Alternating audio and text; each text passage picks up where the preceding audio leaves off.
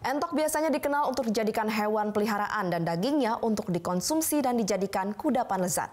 Namun berbeda halnya di Kabupaten Kebumen, hewan unggas ini justru diikutkan dalam kontes kecantikan.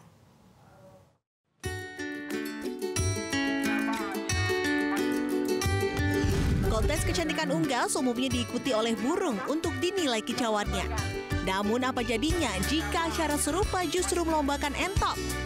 Ya, kontes kecantikan ini digelar di Pantai Meliwis, Kecamatan Ambal, Kebumen, Jawa Tengah pada minggu siang.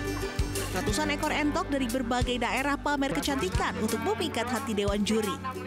Peserta pun tak hanya datang dari Kebumen dan Jawa Tengah saja, tapi juga ada yang datang dari Jawa Timur, Jawa Barat, dan Yogyakarta. Kontes yang digelar untuk kedua kalinya ini diadakan oleh komunitas pecinta entok di Kebumen.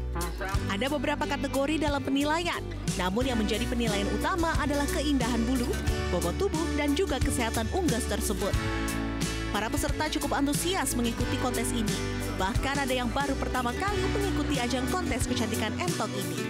Kita mengadakan uh, salah satu ajang kontes, yaitu ajang kontes entok. Ya ini agak lain daripada yang lain, tapi ini memang sudah banyak komunitas terkait entok senusantara. Dan kita ada ada wadah tersendiri senusantara, yaitu ada uh, komunitas ASPEN, Asosiasi Peternak Entok Nusantara. Kalau kontes aduk sering mas, karena beda-beda kabupaten selalu mengikuti. Selalu ikut ya? Uh, kira-kira udah sampai berapa kali? Ya sekitar 6, 6. 6 kali ya? ya. Uh, sudah pernah mendapat uh, juara mungkin mas? Pernah, 4 kali. Di kelas apa? Kelas non jumbo atau lokal pernah, kemudian kelas bobot pernah. Kontes entok ini bertujuan untuk memasyarakatkan entok, bukan hanya sebagai hewan ternak dan dagingnya untuk dikonsumsi saja, tapi juga bisa dijadikan hewan hias. Bahkan entok pemenang kontes akan mendapatkan hadiah dan harganya bisa menjulang tinggi hingga jutaan rupiah. Dari Kebumen, Jawa Tengah, Imam Nurdiansyah, Metro TV.